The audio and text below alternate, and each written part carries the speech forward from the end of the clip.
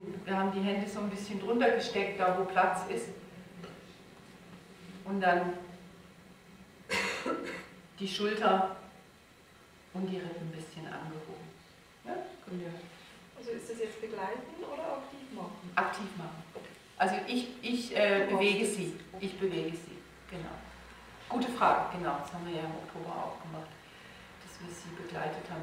Und jetzt möchte ich gern, dass ihr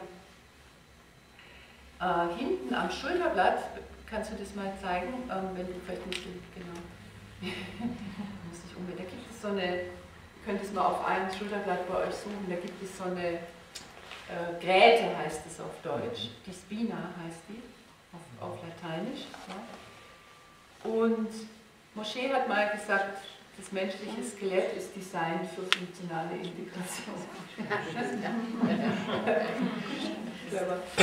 Und das ist eine ganz wichtige Knochenstruktur. Ihr seht, wenn ihr die weiter vorne, kannst du ihn nochmal ein bisschen weiter nach hinten drehen, dann kann man auf der oberen Schulter sehen, wo das hingeht. Ja? Ihr seht, die Spina endet dann in diesem Vordach, ja? in diesem Rabenschnabelfortsatz. Das sind alles so kreative und im Akromium, genau, in dem Schulterdach. Ja, genau. Und ihr könnt jetzt mal so die, diese, diese Spina suchen in der Person. Ja? Dass ihr mal diesen Knochen sucht, weil den brauchen wir in FI ständig. Und dann sucht ihr die Schulter, die vielleicht schon ein wenig mehr oben ist, wenn es eine gibt. Ja? Also bei ihr ist minimal, ganz minimal, die rechte Schulter ein wenig höher. Und dann kann man das jetzt bei Philipp besser sehen.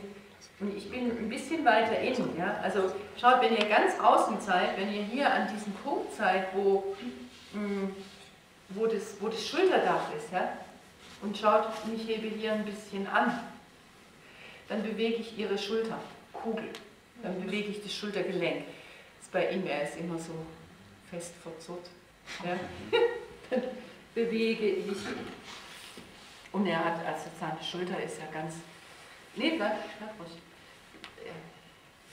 Also wenn wir so hier so viel Platz hätten, dann hätten wir ein Problem.